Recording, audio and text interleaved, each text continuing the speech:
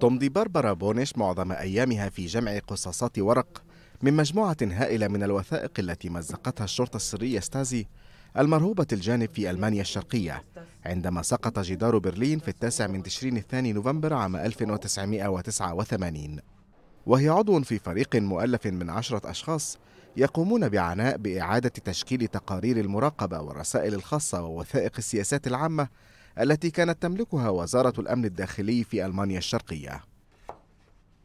Das ja, ist mir eine große Genugtuung und eine Freude und äh, weil ich ja auch weiß, dass diese Materialien hinterher von den Archivaren gesichtet werden und äh, wieder zur Aufarbeitung beitragen. Also das ist mein kleiner Beitrag zur Aufarbeitung der بعد سقوط النظام اقتحمت لجان المواطنين مكاتب ستازي في الخامس عشر من كانون الثاني يناير عام 1990 وصادرت ملايين الملفات والمستندات إضافة إلى 1600 كيس من الوثائق الممزقة لاستخدامها في المستقبل.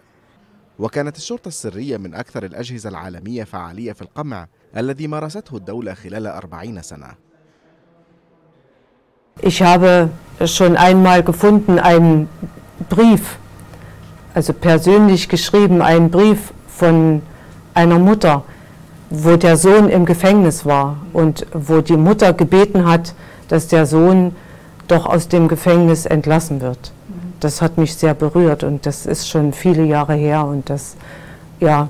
وبعدما أصبحت ملفات ستازي علنية في السنوات التي تلت إعادة توحيد ألمانيا في العام 1990 كشف عن آلاف الجواسيس الذين عملوا لصالح هذا الجهاز الاستخباراتي. وأدى هذا الأمر إلى اكتشاف الكثير من الألمان الشرقيين أن فردا من عائلتهم أو أحد أصدقائهم كان يراقبهم كمتعاون غير رسمي مع ستازي.